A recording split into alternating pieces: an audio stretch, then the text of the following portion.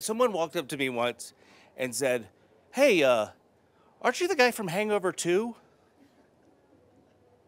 And I said, Yeah, I'm in that one. And he goes, Okay. And he just walked away. He didn't mention the first one or the third one. I'm sorry, I fudged up, guys. And then one time I'm I'm holding my kid outside and a person dressed as a witch.